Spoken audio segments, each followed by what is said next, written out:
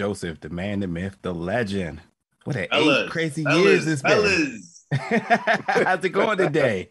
So good. I, I, really am. I can't even express to you how excited I am. The buzz is so evident and present here in New York City and all over the country. And and man, the, the friggin' world, 178 yeah. countries are gonna see this show. And I it just seems like the audience is chomping at the bit and we said we waited long enough. So now that it's here, I, I couldn't be more excited. My guy, my guy.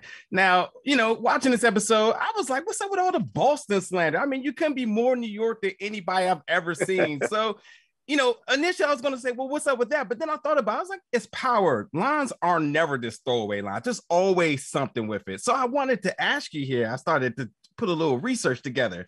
You think there's any connection with the Flynn's and the Egan family, or even possibly the Teresi side? I mean, if you know a little well, bit about gangsters. History, uh huh. I think Nigeria. About... I think is a real storyteller here, man, and maybe a conspiracy theorist. I'm not sure, but um, yeah, you know, I think I think that the Boston thing. Part of it is just it really is as simple as a miscommunication when um, people are outside, like when people from New York who are my complexion with blonde hair. I think that people often just say it's really judging a book by its cover rather than really taking the time to listen where it's like all right it's an urban sound it's it, he's white he's super white it's probably boston you know what i mean so irish guy i think it's just making those those stupid assumptions i think it's a reflection of the stupidity of the character of simon in some ways played brilliantly by phil donlon who is the muscle um, mm-hmm. of the Flynn uh, family in a lot of ways. But I think that that was it. And man, those those poor disses on Tom Brady, man. I mean, come on, hey. give the guy some credit. He's one of the greatest of all time. now, now, Joseph, I have to ask, with the beginning of this episode, with the reintroduction of Tommy, we don't we don't get to see Tommy emotional a lot in mm-hmm. in the Power universe. How did it feel setting up this scene with that reflective emotional Tommy as he's just going through everything that he's been through so far. Lucas, I'm glad you mentioned that because uh, that's one of my favorite parts about the entire pilot. And I think that the director, Larissa Kondracki, who had uh, directed in the Power Show as well, mm-hmm. she just allowed that first two minutes to be no dialogue.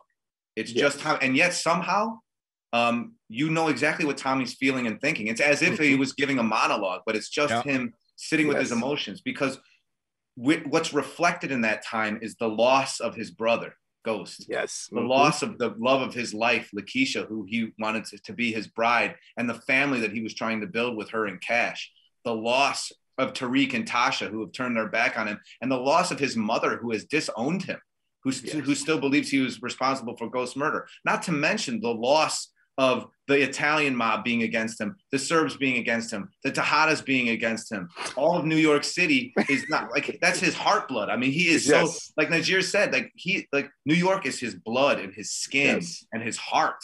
So to, and to say you can never go home again, it doesn't exist for you anymore. He's feeling that like what who am I? And yeah. Chicago, in a weird way, the place as a fish out of water will actually show Tommy who he really is.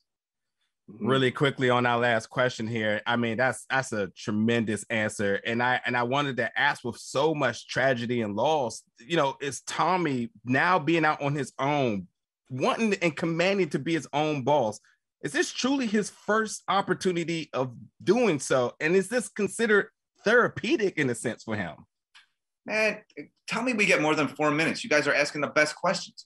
Uh, literally, I think in some ways it is, but along some ways there's that serendipity because uh, Tommy is two parts Kanan and two parts Ghost. So he's he's he's banging, he's bopping, he's mm-hmm. taking every by the block, but he's now thinking two steps ahead. So we have this Tommy who's the same Tommy, ready to throw down to throw down, but it, but it also with the hesitancy of being in that new city. So he is now a slightly more thinking guy than we've had before because he has mm-hmm. to be. Because ultimately, whether it's the, the heart or the head, Tommy's a survivor. He'll chew, if he gets caught in that trap, he'll chew off his arm to, to survive. So we see a survivor who now truly has to survive in these situations.